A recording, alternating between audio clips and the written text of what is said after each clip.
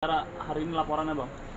Eh, ya baik, terima kasih rekan-rekan media sudah hadir eh, kesempatan kali ini. Ya hari ini kita eh, mendatangi eh, Direktorat ya, Direktorat Tindak Pidana Ekonomi Khusus lantai 5 terkait dengan eh, laporan dugaan peristiwa pidana eh, tindak pidana penipuan dan atau penggelapan untuk menguntungkan diri sendiri atau orang lain dengan maksud merugikan para korban dalam ini robot trading ATG yang mana kami mewakili dari 820 orang para korban robot trading ATG dengan kerugian mencapai 150 miliar rupiah. Dengan korban dan kerugian begitu banyak, ada pola-pola yang dilakukan oleh eh, para pelaku robot ATG ini, yaitu yang mungkin kawan-kawan media sudah tahu bahwa CEO-nya adalah Wahyu Kenzo yang sudah ditetapkan sebagai tersangka hari ini dan saat ini dalam proses penyidikan.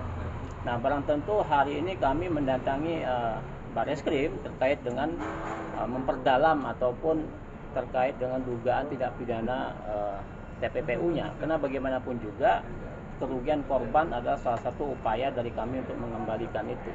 Terkait dengan proses hukum lanjutan, maka penting bagi kami untuk memberi dukungan kepada penyidik supaya untuk melaksanakan tugas-tugas secara profesional dan melakukan penindakan terhadap para pelaku yang lain yang belum tertangkap. Karena sebagaimanapun juga pengalaman di DNA Pro sama Net 89, para pelaku ini lebih dari 8 orang.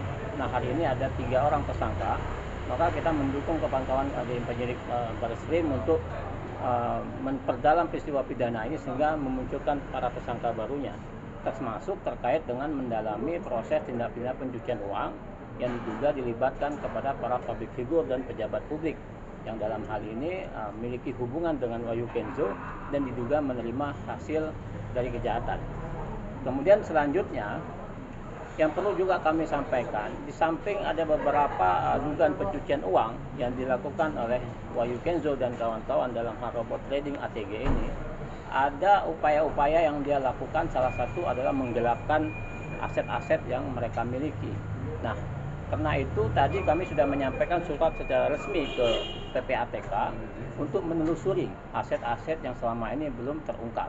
Salah satunya adalah aset-aset yang diterima oleh kawan-kawan public figure yang diduga terlibat dalam hal ini. Karena uh, pada saat kita tracking tahun 2021 di situlah keterlibatan public figure yang menurut pendapat kami itu merupakan hasil kejahatan dari Wayu Kenzo dan harus dipertanggungjawabkan secara hukum. Nah kemudian berikutnya terkait dengan pola ini hari ini kita sudah saat ini dalam proses uh, pembuatan LP karena kawan-kawan tahu sendiri membuat LP begitu memakan waktu namun kita sudah uh, memiliki surat dari uh, Direktur Tindak Pidana Ekonomi Khusus sebagai aduan Dumas yang mana nantinya sebagai langkah awal namun nanti LP insya Allah malam ini selesai maka nanti kita update selanjutnya Berarti sudah diterima ya bang laporan? Sudah, sudah tinggal masih dalam proses pengetikan dan lain-lain. Untuk public, public figure siapa ya bang? Kalau aset ya banyak ya, ya sudah tersita baik itu yang bergerak maupun tidak bergerak. Maka kita tadi menyampaikan ke uh, PPATK ya untuk ditelusuri aset-aset sudah kita kasih nomor rekeningnya, kemudian kita sudah kasih tahu di mana aset-aset itu. Maka barang tentu fungsi PPATK untuk men-tracking itu setelah itu nanti PPATK koordinasi ke penyidik untuk melakukan penyitaan yang nantinya harapan kita dikembalikan kepada para korban. Delapan orang siapa aja itu bang? Public figure bang. Public figure. Delapan orang siapa aja? Public figure delapan orang uh, diduga namanya RH ya, yaitu Raffi Ahmad ya, Raffi Ahmad. Kemudian ada juga uh, Atta Halilintar. Kemudian ada juga uh, uh, William Kevin William ya, Stephen William. Kemudian juga ada Rian Demasif.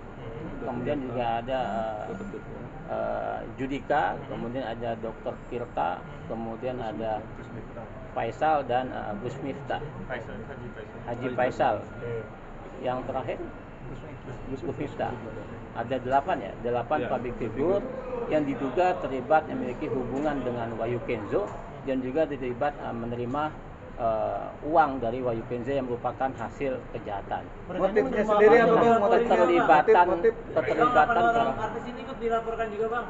Ya ya mereka salah satu yang karena mereka diduga uh, menerima itu maka mereka salah satu yang kita sampaikan ke penyidik karena bagaimanapun juga karena mereka menerima uang dari Wahyu Kenzo karena dalam bentuknya yang berbeda ya.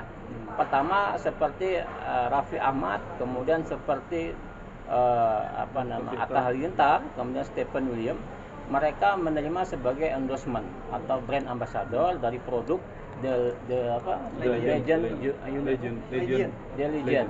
Nah, produk itu adalah produk kesehatan nutrisi. Dan mereka sebagai brand ambassador dan itu adalah CEO-nya adalah istri dari Wayu Kenzo, si Anggi. Nah, barang tentu dalam hal usaha untuk membuat usaha itu adalah merupakan bagian dari hasil eh, para robot trading, korban robot trading. Maka dari itu harus ditelusuri. Karena mereka sebagai brand ambassador, maka barang tentu mereka mendapatkan sesuatu atau menerima sesuatu dari Wayu Kenzo dan kawan-kawan. Kalaupun kita lihat dari perspektif belakang, seperti eh, Ivan Gunawan, itu pada saat kasus DNA Pro juga sebagai brand ambassador. Kemudian dia mengembalikan uang itu, maka dianggap dia sudah memiliki itikat baik satu. Kemudian seperti eh, eh, Dian Demasif, kemudian Judika, beliau juga merupakan brand ambassador dari eh, produk nutrisi Glory yang merupakan bagian dari PT Pansaka eh, bersama. Itu adalah suatu CEO-nya adalah Wayu Kenzo langsung. Nah, karena mereka brand ambassador, maka diduga menerima sesuatu dari eh, yang mereka promosikan. Kemudian yang berikutnya terkait dengan eh, ulama Gus Miftah, dia menjual lelang seperti Atta Halilintar di eh, Net 89 yaitu melelang belangkonnya seharga 900 juta. Kemudian dokter kita melelang mobil eh melelang motor. ya, melelang motornya 100 eh, 120 juta. Kemudian Haji Faisal juga dia menerima hasil lelang 400 juta. Nah, pola-pola ini sering terjadi di Net 8 eh di DNA Pro eh, di ATG dan juga pola-pola ini eh, menggunakan eh, kawan-kawan public figure seperti Atta Halilintar kan sudah pernah terjadi di Net 89 dan ini juga terulang di DNA Pro. Nah maka dari itu kita berharap eh, kawan-kawan public figure ini dengan itikat baik membantu ya, membantu kami, membantu para korban, membantu para penyidik untuk mengungkapkan peristiwa hukum ini supaya terang benderang dan dapat mengembalikan eh, apa namanya aset-aset para korban itu harapan kita yang kita minta kepada eh, penyidik untuk mengusut itu. Bang, di belakang ada korban bisa Iya. dikenalkan bang? Atau mau Dihadirkan? ditunjuk dulu gambar itu? Tunjuk gambar. Dihadirkan dulu korbannya mungkin bang, para korban.